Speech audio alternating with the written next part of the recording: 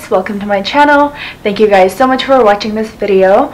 Um, in this video I'm gonna show you guys the eight ways I like to use my concealer. I know concealers are really popular and there's so many ways to use it. Of course in this video I use multiple concealers for different uses because it, they have different textures and some concealers are better for some things some are better for other things. Um, but of course you do not have to have you know four or five different concealers like me. You can do all of these tricks using um, only one concealer maybe in different shades. Whatever concealer you have you can definitely achieve some of these if not all of them. So the first way I use my concealer is to carve out my eyebrows as I've done here. So I already filled in my eyebrows and my favorite concealer to do that is this NARS Creamy Concealer in Custard. Um, this one is a tiny bit lighter than my skin color so it makes it super easy to carve out and I'm using the Morphe M410.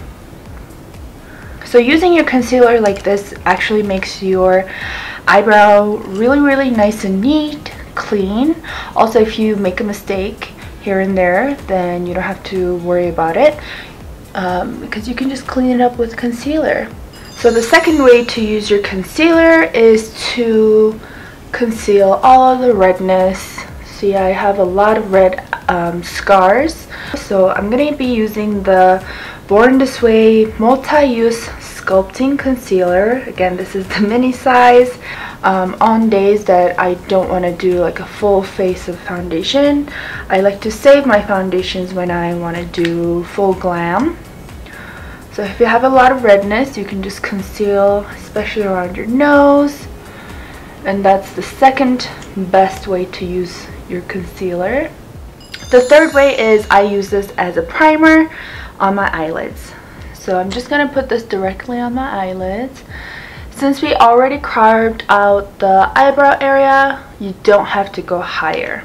The sponge will pick up almost half of the product so that you don't feel like your eyelids are super heavy. But this hides all of the blue, veins, your hair, any discoloration so that your eyeshadow shows up a little bit more true to color and bright and also it blends easier this way. I've done my eyes just at the top.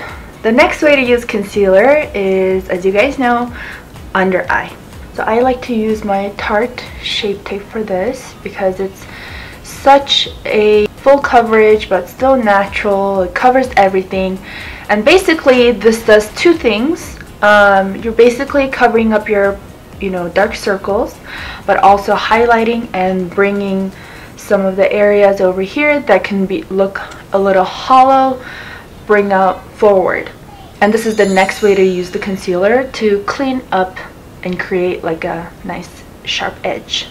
And then again same thing you blend it in with the sponge but I like to use the sharp end.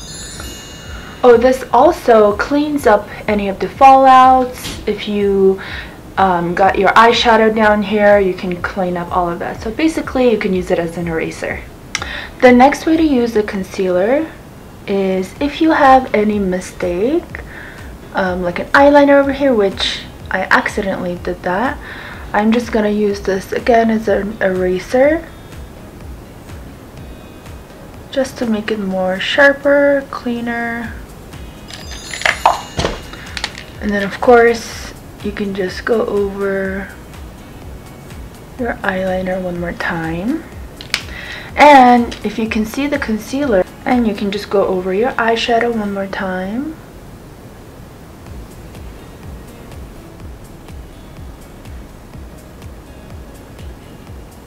This one turned out nice. It, was just this one. My hand was too shaky. Next I'm gonna take Kylie concealer. This is skin concealer in almond.